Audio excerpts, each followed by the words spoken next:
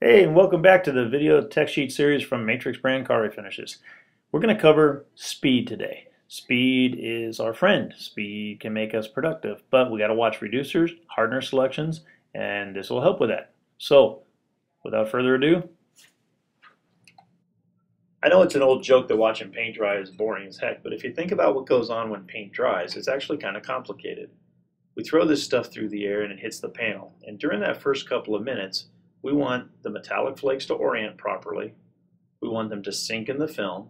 And we want the tint package, that is all the colorants that make up that color, to come up and sit on top of the metal flakes.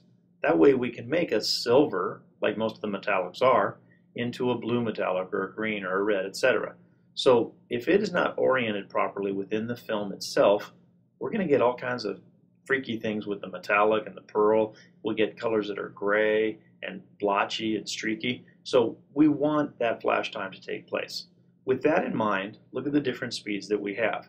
We have fast and we have slow, but really they're to adjust the dry time within a given temperature range or a job size.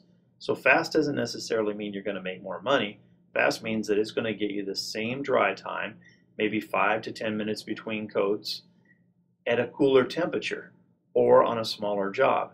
Now, on a bigger job and a hotter temperature, where the material tends to go off faster, you need a slower mix. That will allow the paint film to stay open. So, the fastest thing, the best thing for metallic control, the best thing for orientation is going to be the appropriate speed reducer at a given job size and temperature. To that end, here's a scale that shows you approximately what one might want to choose for a given job size or a temperature.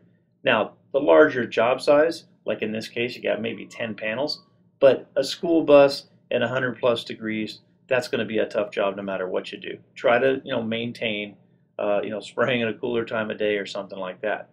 Then again, on the other side of the spectrum, a really fast thing like a rear view mirror, maybe a bumper off a car or something, you can go ahead and use a faster solvent at a little bit higher temperature than the range would indicate because you're still only going to be spraying for about a minute or so. And it'll have the opportunity to orient properly and smooth out.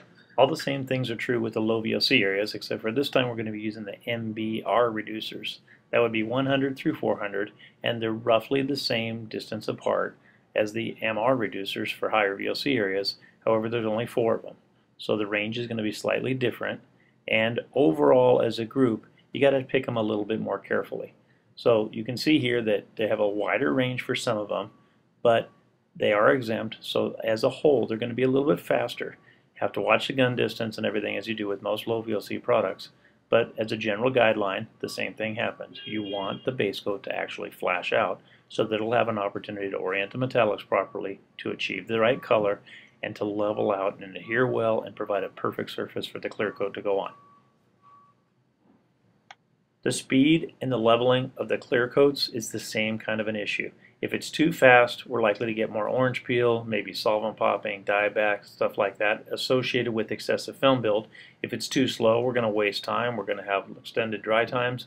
We're going to have running maybe and difficult handling. So we want to do the same thing. We want to pick the hardener that's going to give us the flash time that's going to be appropriate for the job size and the temperature.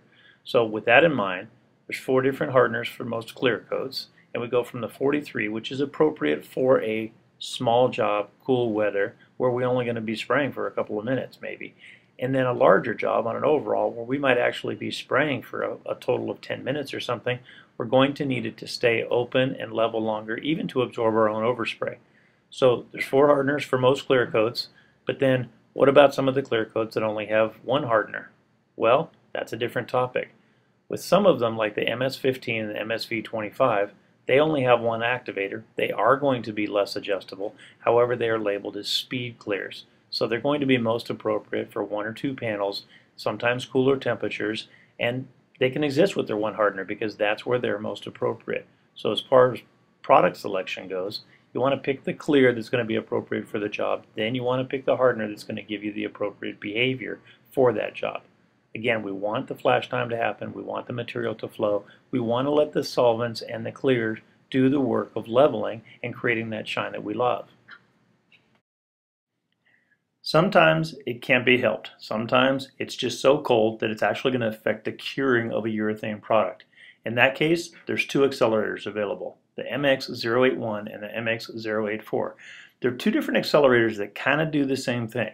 The MX081 is just a straightforward accelerator. It can be very helpful in reducing the times a little bit at a lower temperature, but more importantly, it helps the proper curing of a 2K product at a low temperature. The MX084 is another story. It will accelerate the curing of it, but it also has a pot life extender to keep it from going off in the spray gun.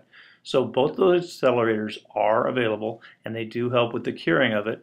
But again, if these things are relied on to save time in an effort to get more work done, they're not always helpful because the painter has to apply the material heavier to make up for the undesirable spraying characteristics then guess what? You got a thicker film on there and it's going to take longer to dry overall, have not as good appearance, going to take longer to buff, it's going to remain soft, and it can actually be a downfall. So like with the base coats, the clear coat hardener selection, the clear coat selection itself, and even the use of an additive to accelerate drying are all very balanced and you want the material to behave well, to be easy to spray, and that's going to get you the best performance.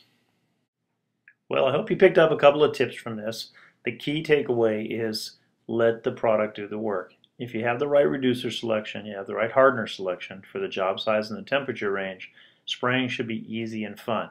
You shouldn't have to work to get base coat to level out or to get the metallic right. It should want to do it itself. Clear coats, they should want to flow. They should want to go right behind you and stay wet a little bit after you leave and let the solvent do the work. We have the proper selection. It's up to you to make the right choices and hope you enjoy spraying. Thanks for listening.